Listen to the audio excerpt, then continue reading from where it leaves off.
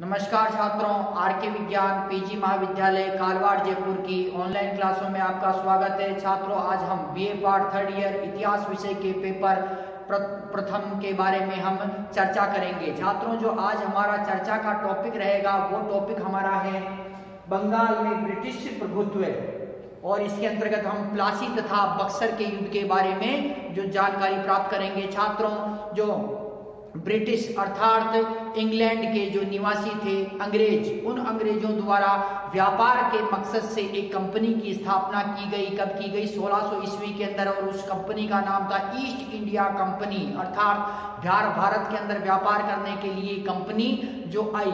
तो छात्रों तो ये व्यापार के मकसद से भारत के अंदर आई थी और इस कंपनी ने क्या किया? धीरे धीरे भारत की राजनीतिक राजनीतिक स्थिति को कमज़ोर पाया और धीरे धीरे इसने क्या किया? इस कंपनी ने भारत की राजनीति में हस्तक्षेप करना प्रारंभ कर दिया। भारत की कमज़ोर केंद्रीय स्थिति, मुगल सत्ता के कमज़ोर हो जाने तथा भारत की जो शक्तियों, जो छोटी छोटी शक्तियाँ थी, वो आपस के अंदर लड़ रही थी। भारत के अंदर आपसी फूट का फ़ायदा उठाकर इन अंग्रेज़ों ने क्या किया कि भारत पर कब्जा कर लिया। तो छात्रों तो ये व्यापार के मकसद से भारत में आई थी, परंतु इसने भारत की राजनीति में हस्तक्षेप करना प्रारंभ किया और इसने जो भारत पर अधिकार कर लिया। तो छात्रों, सर्वप्रथम जो ईस्ट इंडिया कंपनी थी। ईस्ट इंडिया कंपनी द्वारा जो अधिकार किया गया, किस क्षेत्र पर अधिकार किया गया? बंगाल के क्षेत्र पर अधिकार किया गया और बंगाल के अंदर इसने दो युद्ध लड़े। कौन से? पहला युद्ध था सत्रह ईस्वी के अंदर प्लासी का युद्ध था दूसरा युद्ध था सत्रह ईस्वी के अंदर बक्सर का युद्ध।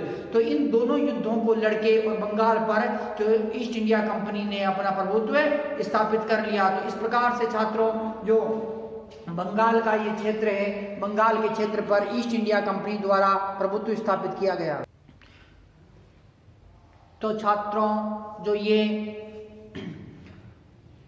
बंगाल पर जो ब्रिटिश प्रभुत्व स्थापित हुआ, ये ब्रिटिश प्रभुत्व था छात्रों, के जो अंग्रेज़ों द्वारा जो ये जो बंगाल पर कब्जा कर लिया गया। तो छात्रों, आज हम चर्चा करते हैं कि बंगाल में ब्रिटिश प्रभुत्व किस प्रकार से स्थापित हुआ। तो इससे की हम पूरी जो चर्चा करते हैं तो छात्रों, बंगाल पर ब्रिटिश प्रभुत्व तो छात्रों, इसके बारे में हम जो आज विस्तार पूर्वक चर्चा करेंगे। तो छात्रों, मुगल काल में सबसे संपन्न राज्य मुगल काल में।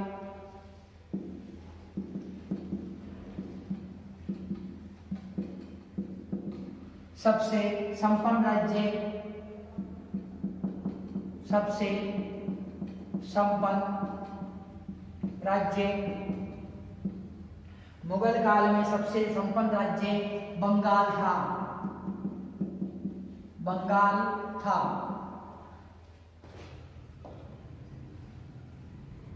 सन 1600 ईस्वी में ब्रिटेन में ईस्ट इंडिया कंपनी की स्थापना हुई। सन 1600 ईस्वी में ब्रिटेन में ब्रिटेन में ईस्ट इंडिया कंपनी की स्थापना हुई। ईस्ट इंडिया कंपनी की स्थापना हुई।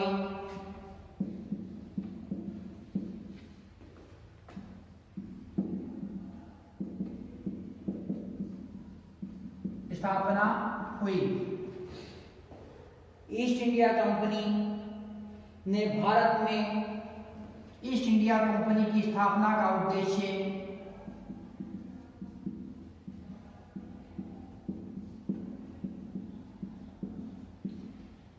की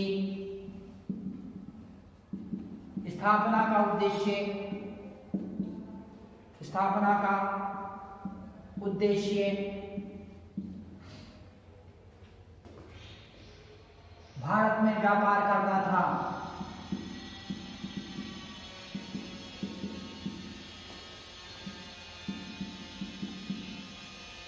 भारत में व्यापार करना था।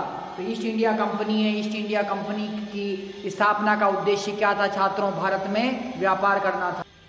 ईस्ट इंडिया कंपनी का जो भारत में उद्देश्य था, भारत में आने का उद्देश्य था कि व्यापार करना।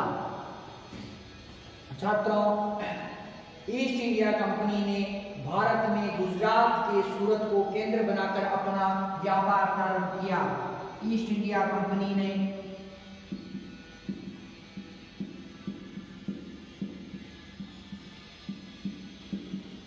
भारत के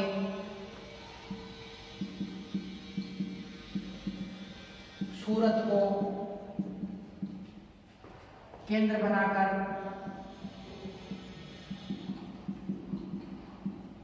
भारत के सूरत को केंद्र बनाकर अपना व्यापार प्रारंभ किया।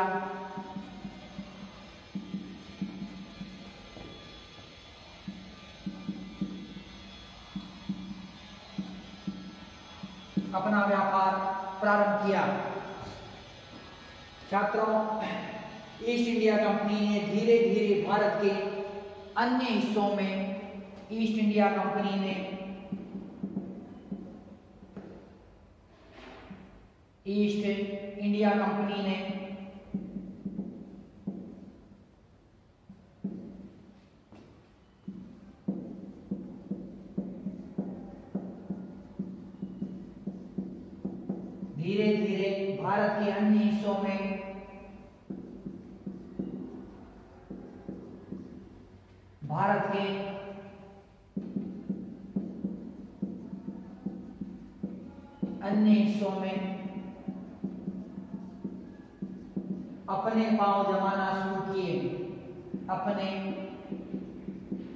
पाँव जमाना शुरू किए।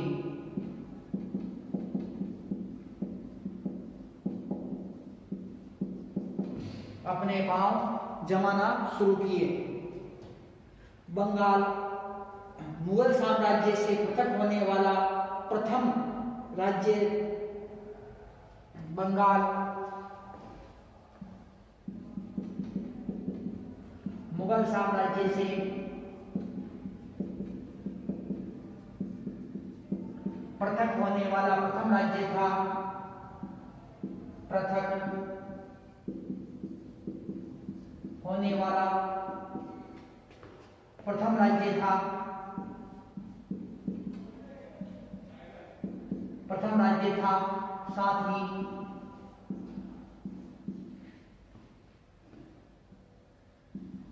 ईस्ट इंडिया कंपनी के ईस्ट इंडिया कंपनी के अधीन होने वाला भी प्रथम राज्य था।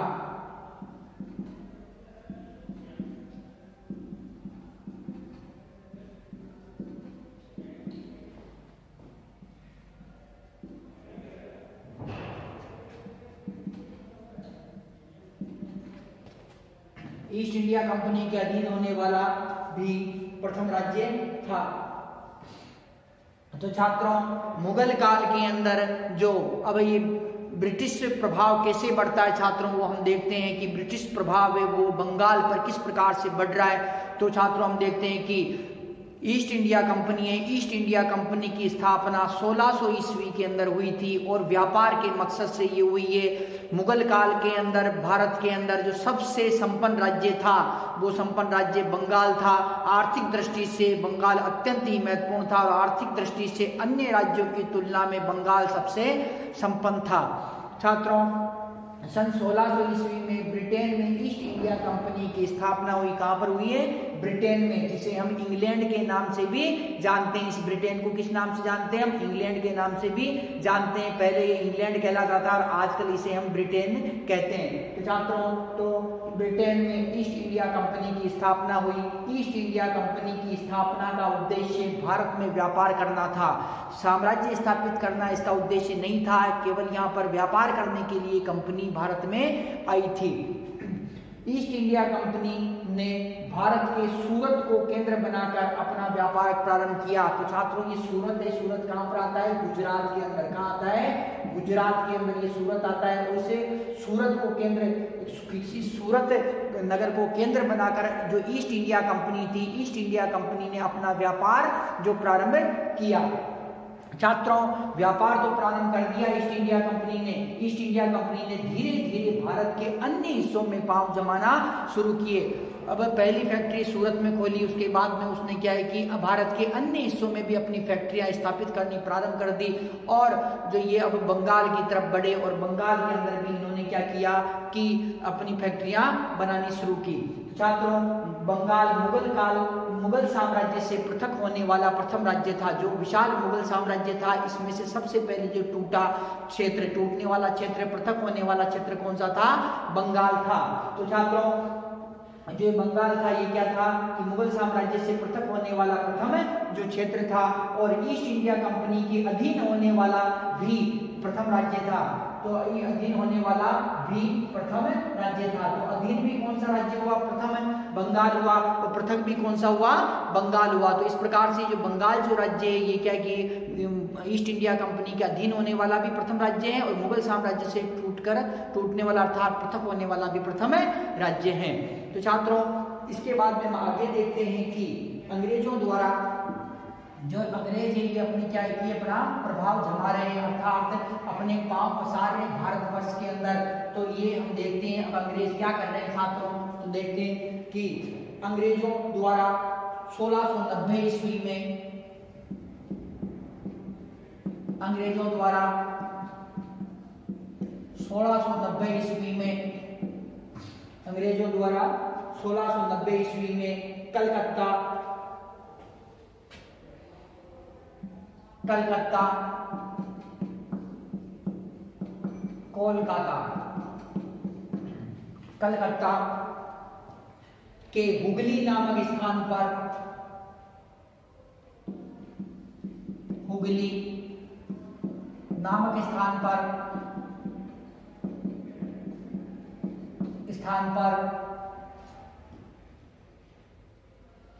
अपने पैर जमाकर व्यापार विस्तार किया। अपने पाँव जमाकर या पैर जमाकर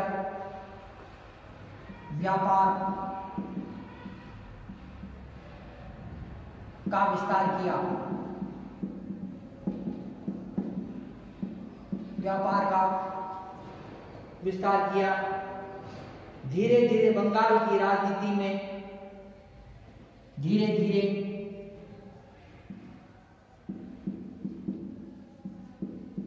बंगाल की राजनीति में हस्तक्षेप किया। बंगाल की राजनीति में हस्तक्षेप प्रारंभ किया। हस्तक्षेप प्रारंभ किया। और कालांतर में बंगाल पर अधिकार कर लिया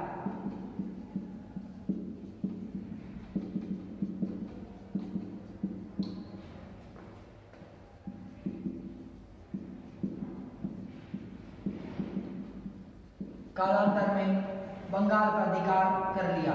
तो छात्रों, जो अंग्रेज़ अंग्रेज़ों द्वारा 1690 ईस्वी के अंदर, अब ये सूरत के अंदर इन्होंने जो फैक्ट्री डाली थी गुजरात के, उसके बाद में धीरे धीरे करके ये भारत के अन्य हिस्सों में भी ये अपना व्यापार करने लगे और इसी संदर्भ में इन्होंने क्या किया? कि 1690 ईस्वी का समय था 1690 ईस्वी के अंदर कलकत्ता के हुगली नामक स्थान पर इन्होंने क्या किया कि अपने पैर जमा दिए। तो ईस्ट इंडिया कंपनी के जो पैर हैं, वो कलकत्ता के हुगली नामक स्थान पर इन्होंने जमाए और वहाँ से व्यापार करने लगे। धीरे धीरे बंगाल की राजनीति में हस्तक्षेप हस्तक्षेप किया, हस्तक्षेप प्रारंभ कर दिया। तो अंग्रेज़ों ने धीरे धीरे क्या किया? बंगाल की राजनीति में हस्तक्षेप प्रारंभ कर दिया और कालांतर में संपूर्ण बंगाल पर अधिकार कर लिया। तो छात्रों, जो बंगाल है, बंगाल क्या है कि अंग्रेज़ों के अधीन होने वाला भारत का प्रथम जो क्षेत्र था, कौन सा क्षेत्र था? बंगाल था। तो बंगाल पर अंग्रेज़ों ने अधिकार कर लिया। छात्रों, अब हम देखते हैं कि जो बंगाल के में इन्होंने अधिकार किस प्रकार से किया और बंगाल के जो शासक थे, उन शासकों ने अंग्रेज़ों का प्रतिरोध किस प्रकार से किया तो उसके बारे में हम चर्चा करते हैं। छात्रों, जो जो प्रतिरोध होगा, उसी प्रतिरोध के अंदर प्लासी तथा बक्सर के भी युद्ध होंगे और बंगाल के जो नवाब है, बंगाल के नवाब अली बर्दी खां सिराजुद्दौला तथा मीर कासिम। तो ये जो क्या करेंगे कि अंग्रेज़ों से मुकाबला करेंगे, अंग्रेज़ों को भारत से बाहर भगाने का प्रयास करेंगे। तो छात्रों, हम देखते हैं सर्वप्रथम अली वर्दी खां अली वर्दी खान अली वर्दी खान ये कौन था छात्रों? ये बंगाल का नवाब था अली वर्दी खान शासनकाल, इसका शासनकाल देखते हैं हम, अलीवर्दी खान जो बंगाल के नवाब है, इनका शासनकाल। शासनकाल। तो अलीवर्दी खान का शासनकाल था 1740 ईस्वी से लेके 1756 ईस्वी। 1740 ईस्वी से 1756 ईस्वी। इनका शासनकाल है। किसका? अलीवर्दी खान का। अली वर्दी खां एक योग्य पराक्रमी सेना नायक था। अली वर्दी खां, इसके बारे में चर्चा करते हैं हम। अली वर्दी खां। एक योग्य पराक्रमी सेना नायक था।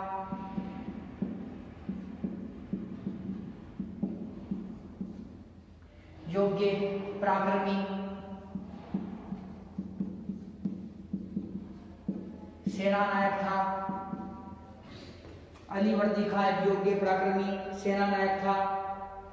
इसके समय मराठों ने लगातार बंगाल पर आक्रमण किए। इसके समय मराठों ने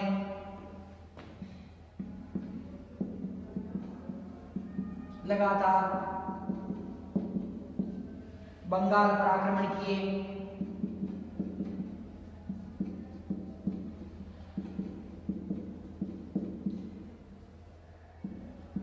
लगातार बंगाल पर आक्रमण किए, जिससे बंगाल को काफ़ी आर्थिक हानि उठानी पड़ी, जिसके कारण बंगाल को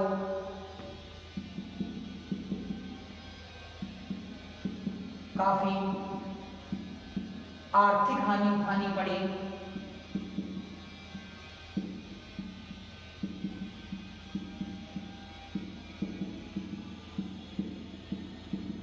आर्थिक हानि उठानी पड़ी। सत्रह सो इक्यावन में सत्रह सो इक्यावन ईस्वी में मराठों तथा अली वर्दी खां के मध्य समझौता हुआ।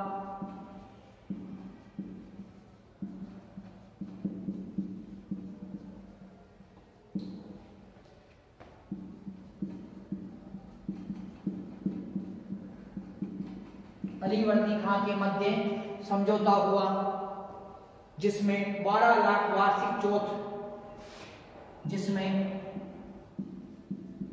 12 लाख वार्षिक चौथ वार्षिक चौथ कर कर था। वह उड़ीसा का क्षेत्र, उड़ीसा जिसे हम उड़ीसा भी कहते हैं आजकल, उड़ीसा का क्षेत्र मराठों को देना निश्चित हुआ। मराठों को देना निश्चित हुआ। मराठों को देना निश्चित हुआ। अलीवर्दी खां के समय, अलीवर्दी खां के समय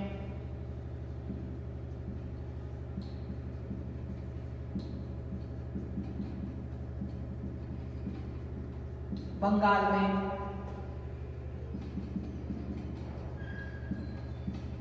बंगाल में राय दुर्लभ जगत सेठ। राय दुर्लभ जगत सेठ। जगत सेठ। मेहताब राय। मेहताब राय। स्वरूप चंद्र स्वरूप चंद्र मेहताब राय स्वरूप चंद्र राजा राम नारायण, राजा राम नारायण।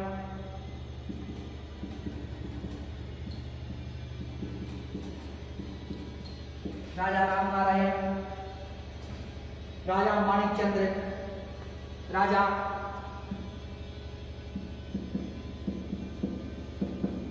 माणिक चंद्र, जैसे हिंदुओं का प्रभाव था। हिंदुओं का प्रभाव था। हिंदुओं का प्रभाव था। इन हिंदुओं को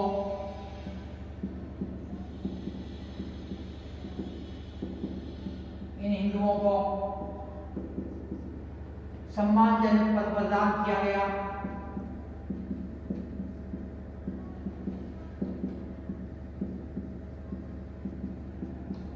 सम्मानजनक पद प्रदान किया गया।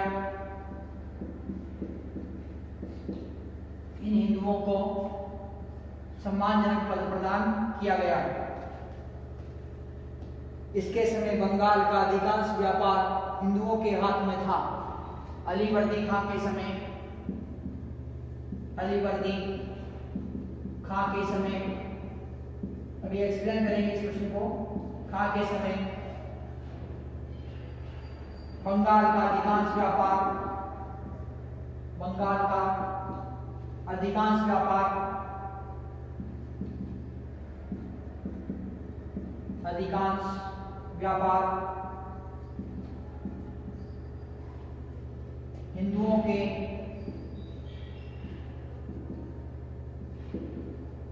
हाथों में था।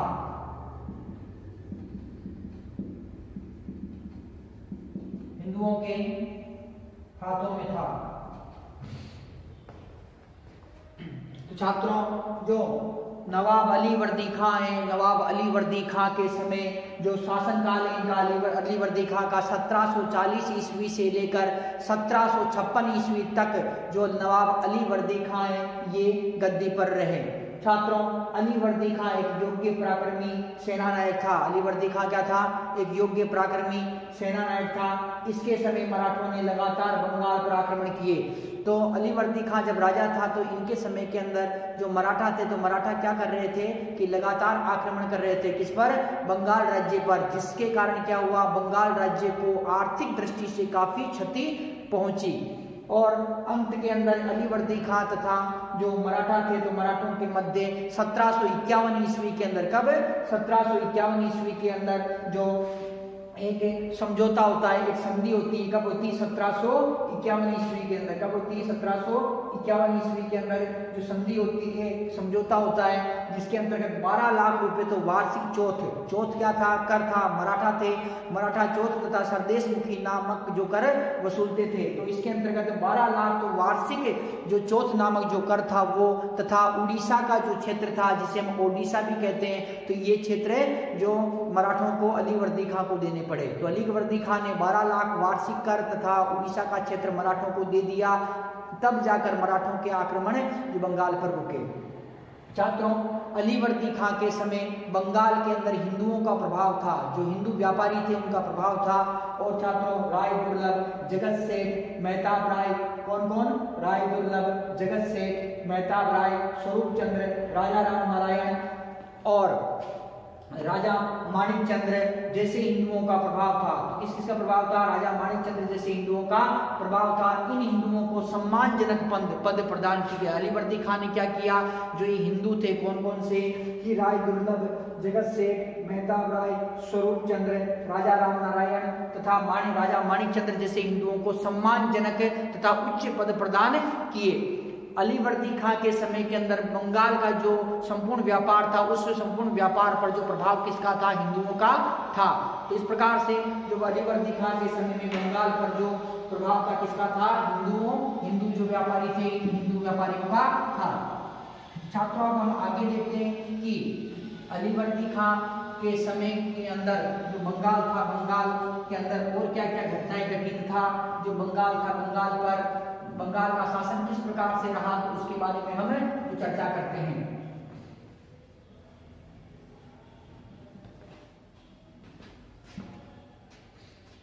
तो छात्रों, अली मर्दी खां वे ईस्ट इंडिया कंपनी के संबंध। अली वर्दी खां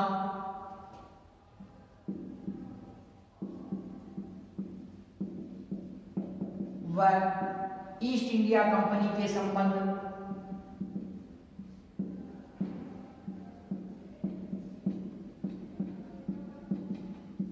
ईस्ट इंडिया कंपनी के संबंध। के संबंध। कभी भी मैत्रीपूर्ण नहीं रहे।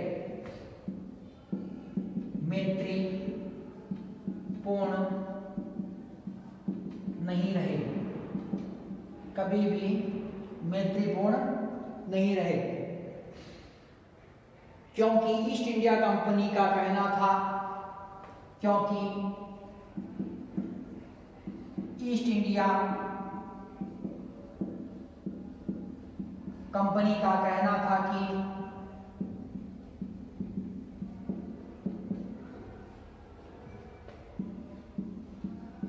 कहना था कि ईस्ट इंडिया कंपनी का कहना था कि मुगल बादशाह के आदेश के अनुसार मुगल बादशाह के कहना था कि मुगल बादशाह के आदेश के अनुसार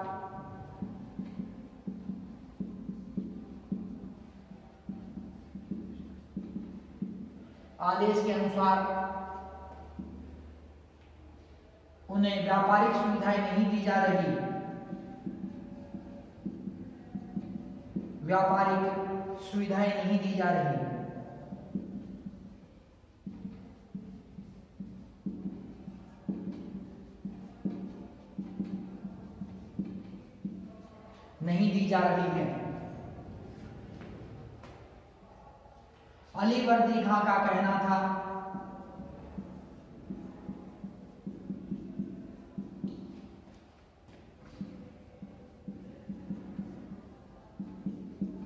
अली वर्दी खां का कहना था कि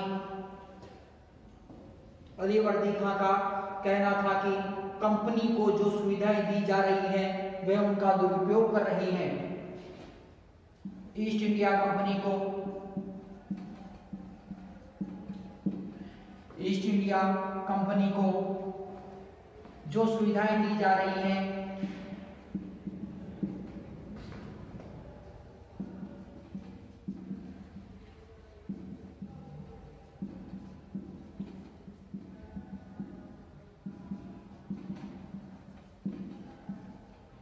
उनका ईस्ट इंडिया कंपनी दुरुपयोग कर रही है।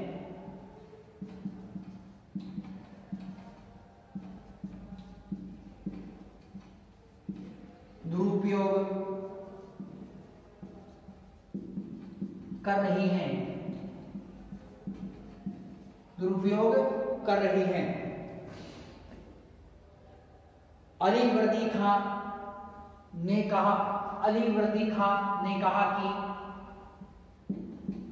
अली वर्दी खां ने कहा कि ने कहा कि अली वर्दी खां ने कहा कि अली वर्दी खां ने यूरोपियनों की तुलना मधुमक्खियों से की। अली वर्दी खां ने यूरोपियनों की तुलना।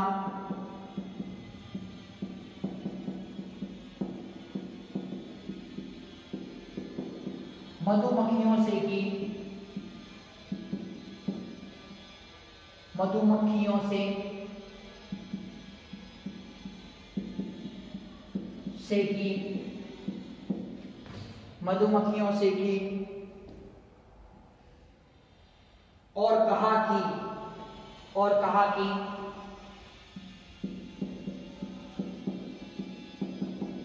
कहा कि अब क्या कहा अलीवर्दी खान ने यूरोपियनों के बारे में? वो देखते हैं छात्रों, इन्हें न छेड़ा जाए तो शहद देगी। इन्हें न छेड़ा जाए तो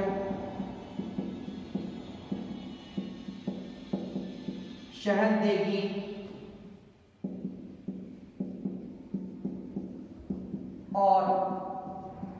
छेड़ दिया जाए तो।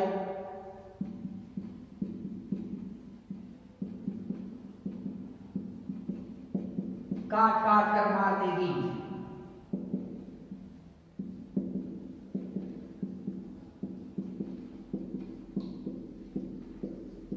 काट काट कर मार देगी। 10 अप्रैल सत्रह सौ छप्पन ईस्वी को बयासी वर्ष की आयु में 10 अप्रैल सत्रह सौ छप्पन ईस्वी को बयासी वर्ष की आयु में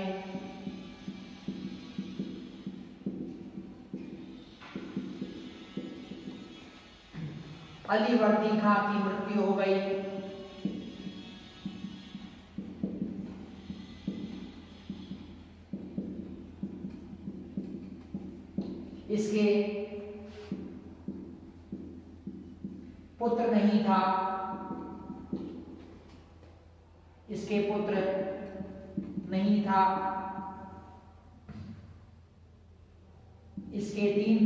थी इसके तीन पुत्रियाँ थी, जिसमें जिसमें सबसे छोटी पुत्री के पुत्र, जिसमें सबसे छोटी पुत्री के पुत्र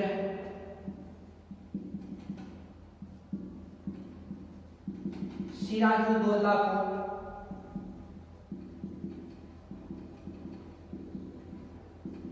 सिराजुद्दौला को अपना उत्तराधिकारी बनाया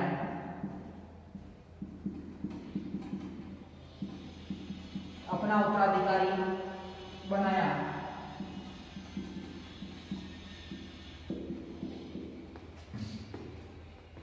छात्रों, जो नवाब अली वर्दी खां है तो नवाब अली वर्दी खां के बारे में हम देखते हैं कि अली वर्दी खां वे ईस्ट इंडिया कंपनी के जो संबंध थे, कभी भी मधुर नहीं रहे।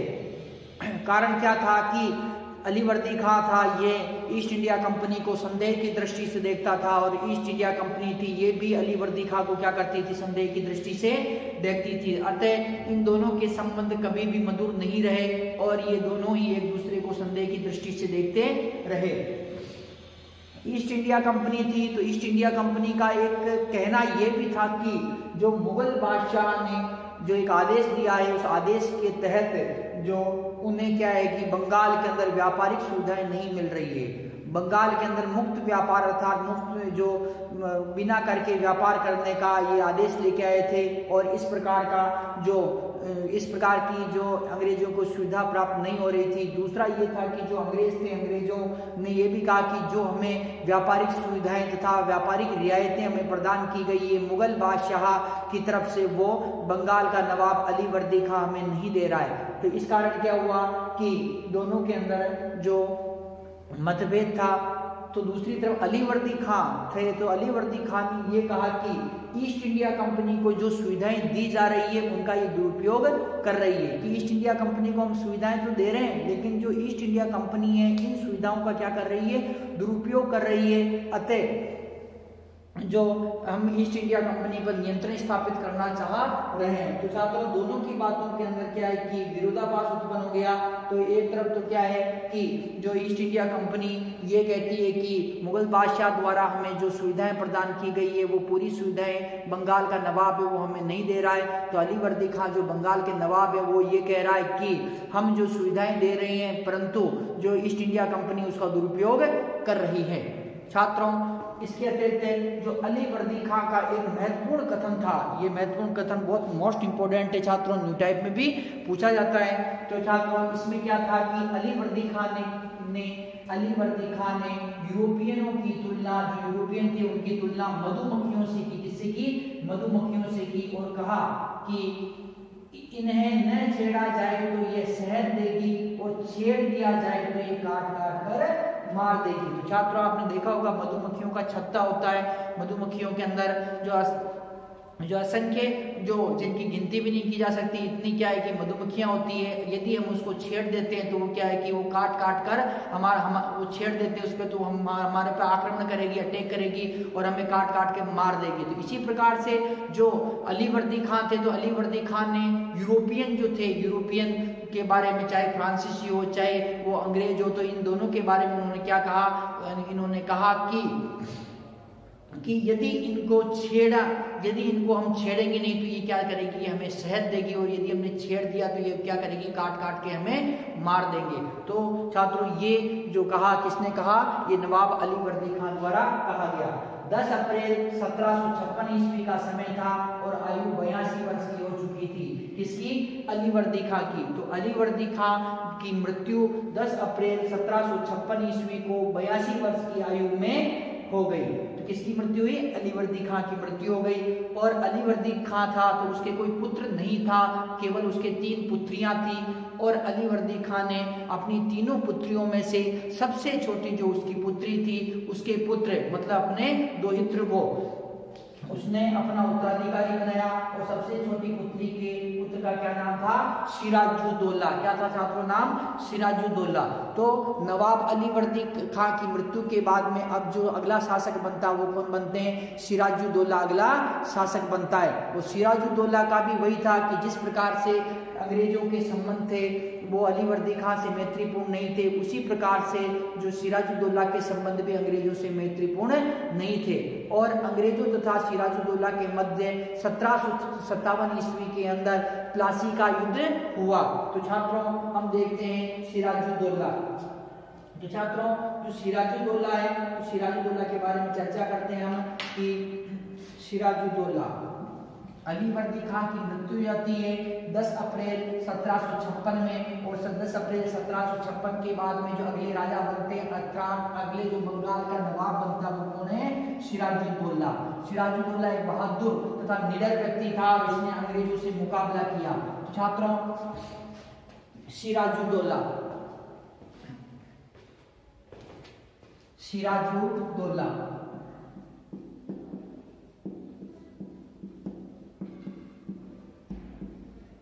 सिराजुद्दौला छात्रों, शासनकाल।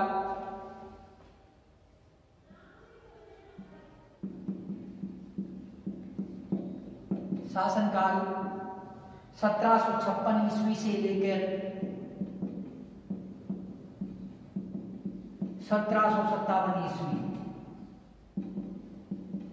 शासनकाल अत्यंत ही अल्प शासनकाल रहा। इनका सत्रह ईस्वी से लेकर सत्रह ईस्वी इनका जो शासनकाल रहा। अंग्रेज़ों से संघर्ष के कारण, अंग्रेज़ों से संघर्ष के कारण जो नवाब सिराजुद्दौला शासक बनते हैं, उसके बाद में अंग्रेज़ों से संघर्ष होता है तो संघर्ष के अंग्रेज़ों से संघर्ष के कारण। मतलब कारण क्या रहे? कोई कोई तो कारण होगा। जब भी लड़ाई चलेगी, लड़ाई लड़ेंगे तो छात्रों को अंग्रेज़ों से संघर्ष के जो कारण है, उसके अंदर जो प्रथम जो कारण है, वो इनका है राजनीतिक कारण। कौन सा कारण है? राजनीतिक कारण। राजनीतिक कारण। सिराजुद्दौला ने नवाब बनते ही अपने शासन प्रशासन को सुदृढ़ करने का प्रयास किया। सिराजुद्दौला ने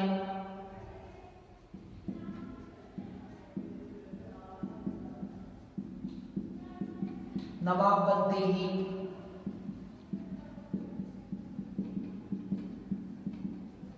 अपने प्रशासन को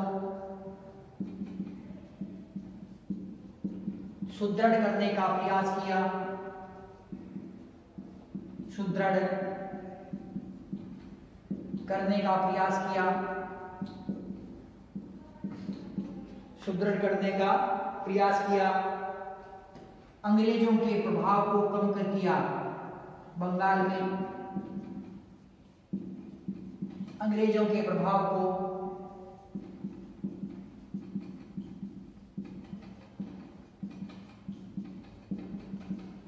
कम किया। बंगाल में अंग्रेज़ों के प्रभाव को कम किया। अंग्रेज़ों ने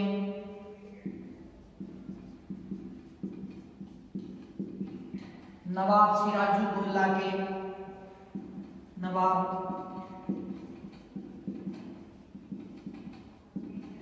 सिराजुद्दौला के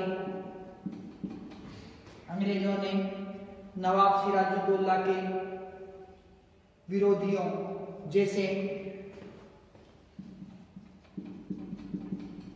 विरोधियों, नवाब सिराजुद्दौला के विरोधियों जैसे घसीटी बेगम घसीटी बेगम घसीटी बेगम,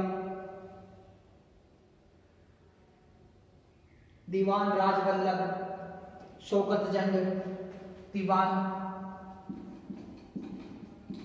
राजवल्लभ शौकत जंग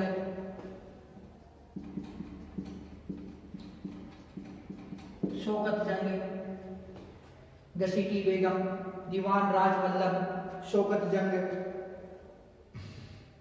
मीर जाफ़र को सहायता प्रदान की।